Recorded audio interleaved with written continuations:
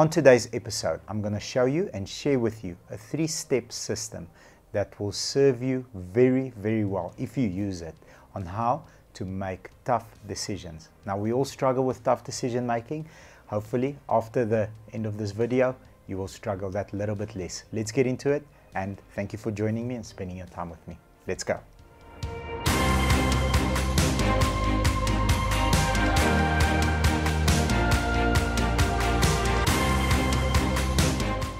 Now, speaking in the context of making tough decisions on your own and as a team, just remember the baseline where you need to start off with is don't ever forget you have to have a tough conversation first with yourself and then with your teammates. Don't be soft on yourself. You have to be harder on yourself than anybody else in the industry in your team can ever be because then you'll really be ready to make a tough decision. So remember, your baseline is speak to yourself with a tough tone and have a tough conversation with your team. Now, the first point which you have to start off with, so that's step number one. When you are about to make a tough decision on a person or with a person, start it off easy because people in their minds complicate this conversation and this process to the point where you get analysis paralysis. If you are, for example, a leader in a team and there's a, there's a team member that's non performing, um, simply walk up to them and say, What would you like to see happen going forward? You know, that alone, that phrase, may engage the conversation, the difficult, the tough decision that needs to be made. Listen, I'm not built for this.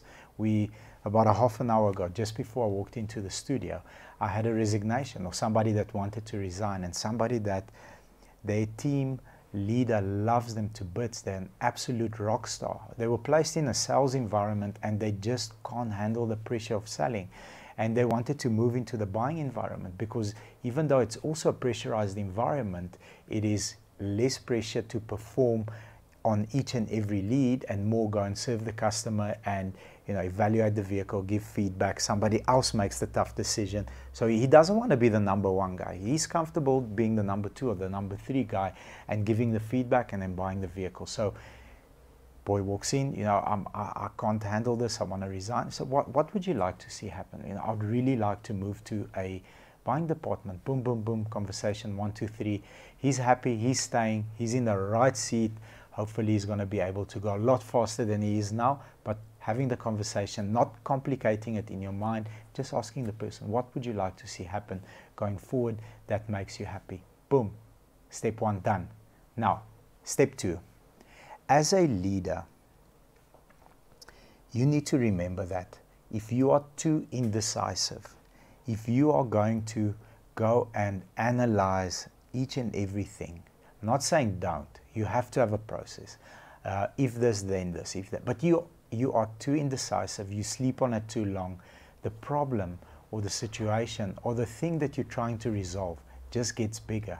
So allocate yourself a certain amount of time. I always say this is a 30 minute problem. In 30 minutes, this problem needs to be eliminated, no matter what. Ignore the phone for 30 minutes, process all the issues, boom, make a decision, move over. Because if you allow it time, a problem or an issue gets bigger and the fuel is seconds. The more seconds you allow that problem or issue, the bigger it becomes. Step two, done. Boom. Get ready for step three. Make the decision and move on already. Don't go and get stuck in a place where Oh, have I made the right decision? Oh, what if it doesn't work out? Oh, what if I did it differently? I've made a big mistake six months ago in our company. I chose to back a horse that at the time, at the time, was a winning horse. A couple of months down the road, that company, that carrier, that insurance carrier company went belly up. It literally got liquidated, putting me at risk, unfortunately, putting some of my customers at risk, Fortunately, we're a dynamic company and we were able to secure contracts for those customers and our company that was put at risk to be protected. Everything is cool, we go forward. But if I go and think about it, based on the information that I had six months ago, it was still the right decision. I'm very happy that I made the decision that way, even though it cost me uh, quite a bit of money later on, but the decision was made. I made it, I moved forward. If things change or if new information comes up, you can always go and tweak and learn and just adapt and readjust. But step three is make the decision, don't linger, don't think about it, whether it's the right or the wrong decision, only time will show you. And when it does, you can always adjust. You only lose when you give up.